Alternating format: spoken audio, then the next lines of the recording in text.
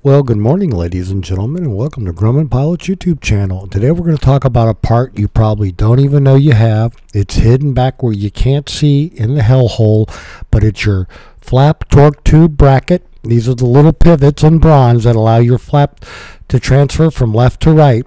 So stay tuned while we look some more and clean these up. So we would like to ask you please subscribe, hit the like button, and hit the notify to stay current with our content. So there's one on the left and there's one on the right. It takes two people to get them because somebody has to reach up from the outside of the airplane up through the sump cover and somebody has to be inside the airplane. And this is a shim you may or may not see.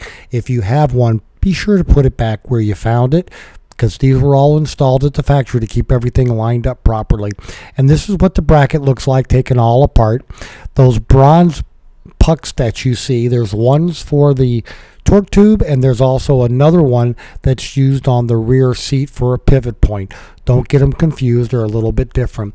But anyway, here's the whole thing for you, all put together, and this is what the back looks like, properly cleaned. So we hope you found all this useful and informative. Thanks for watching and have a great day flying. Your Grumman.